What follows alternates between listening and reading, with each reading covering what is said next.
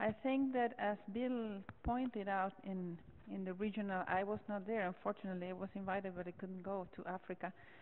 Um, but I saw it in Latin America. We had a strong focus on development, but I haven't seen it in in the big IGF.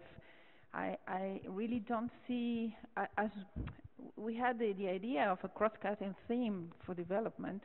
I really don't see it in the general discussions. I don't see it present in, in the main sessions. I even have, I, am surprised that many people uh, put figures about uh, penetration of services and all of things, and they just don't include Latin America. Maybe the numbers are small, but they just skip the, some regions. I, have noticed uh, intensely that our region is, is really missed. So um, I think that perhaps, and we discussed this yesterday in a in a very interesting workshop. Uh, I think development is, is something that could be uh, an improvement in in the general IGF. Thank you.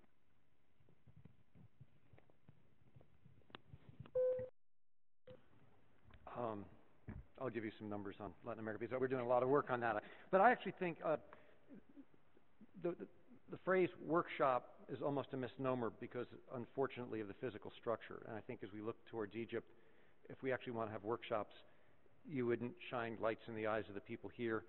Um, we'd be able to see you better. So I hope they can turn the lights up in the room. Um, and in fact, we would be looking at things like development. I'll give a very concrete example. Last year on the Going Forward panel, um, I raised the question of uh, how can you get more spectrum for wireless broadband um, as part of a transition from analog to digital television in order to extend the reach of broadband in rural areas, unserved areas, underserved areas. Um, it's the part of the access question. How do you uh, facilitate licensing, getting more licenses out there? How do you drive um, the, the, the reach of the platform? That's only half of the problem, right?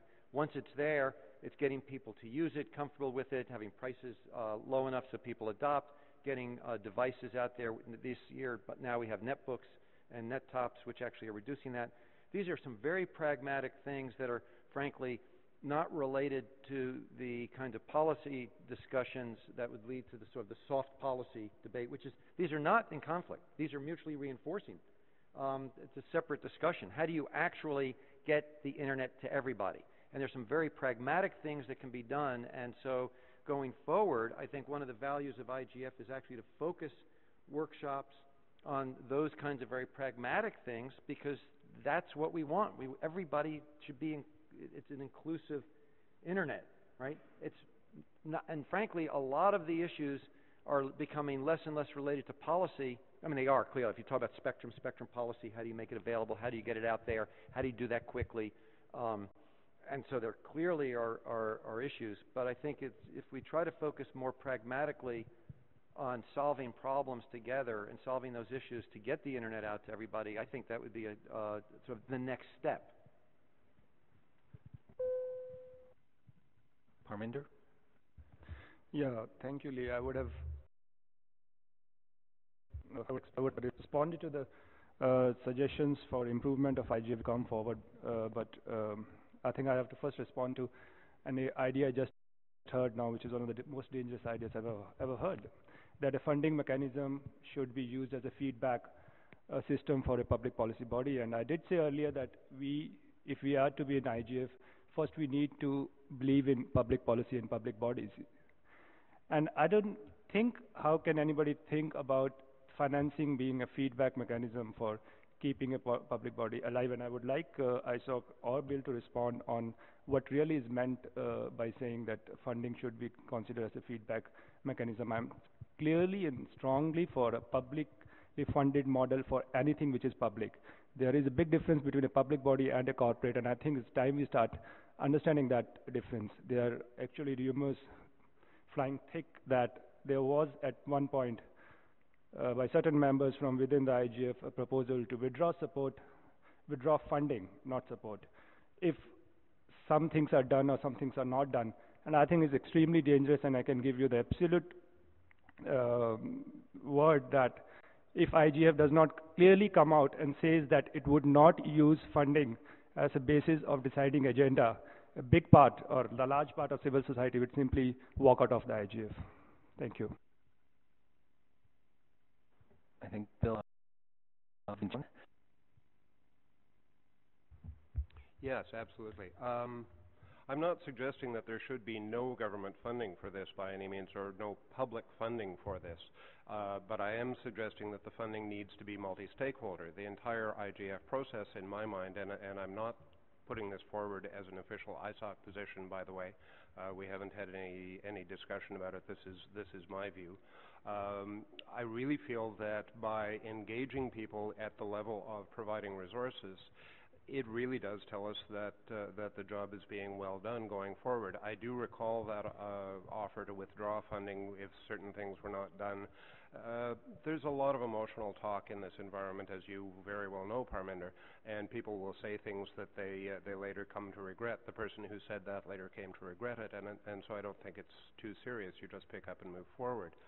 But you know, absolutely. The, the biggest funders of this at this point are governments providing public funds. There's there's no question about that, and I think they are they are probably the most concentrated source of funds among the stakeholders here.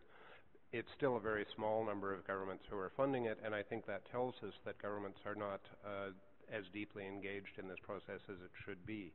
That was the point I was going to make uh, to start. Is that one of the real weak areas with the IGF moving forward is the lack of participation and the lack of awareness by governments. Uh, we don't see a lot of developing country governments here. Partly that's an issue of resources, partly it's an issue of those of us who are here from uh, from different countries we probably are not doing as good a job as we could at going back home, telling our national governments how important this is, getting them engaged at the national level, and moving that up to the uh, the global level. Because I really feel, paradoxically, this was created. The IGF was created by the WSIS by what was essentially an intergovernmental uh, statement, the Tunis Agenda, and yet the strongest participation by far is from the civil society uh, and the the business community. The governments are are much in the minority here. That's fine from the perspective of debate, but it doesn't. Uh, it means that what we do here is not as likely to be taken up uh, at the national level, level where the real power exists. So I think a responsibility we have to take on as participants is uh, bringing the message back from the IGF that there is value, there is value for governments, and you, as my government, should be participating here.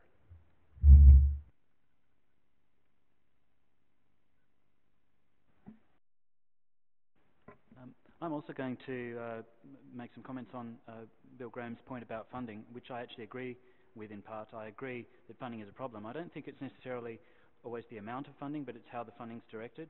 Um, Two nights ago, we had uh, a very wonderful gala evening, um, which I'm sure most of you attended, with lavish food, drink, and entertainment.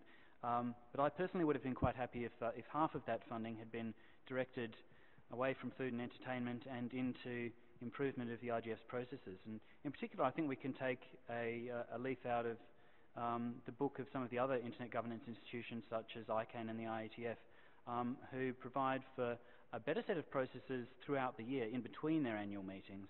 Um, for example, ICANN has um, mailing lists that are automatically translated into multiple languages.